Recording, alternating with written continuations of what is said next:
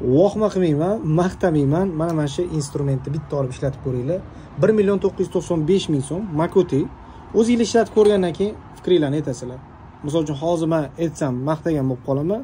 O'sha uchun o'zinglar bitta kelib ko'rib olganinglarni maslahat bergan bo'lardim misol uchun hozir kecha bitta karcher chiqazganmiz. Aka maqtab yuboribsiz bir yuz sakson bar. U nikak o'xshamaydi bir yuz sakson barga deyishibdi lekin yozilgan anno veri veri beri italiyani brendi. Omax karcherlarni ham pompasi o'sha italyanskiy pompa turibdi.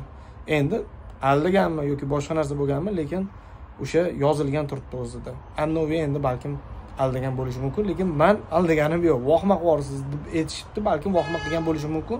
Sababi juda yam kompaktligi uchun ozgina nima deydi birinchi marta ko'rdim o'zim ham hayratlandim. Ko'ringlar o'zinglar balkim karcher balkim mana mana bu shtrabares mana mana shu yerda shuncha instrument turibdi makutini manga hozirgi paytda mana shu Э, shtrabarezi juda yam yoqyapti va bitta ham muammosi bilan halicha kelgani yo'q. Mana mana bitta drellarini bolgarkalarini ishlatib ko'rgan insonlar ответini aytishdi juda yam zo'r. Ну aytyapmanu maqtagan bo'lib qolmang o'zinglar ishlatib ko'ringlar o'shandan keyin makuti fermasiga boshqacha nazar bilan qarasanglar kerak. Shunaqa gaplar.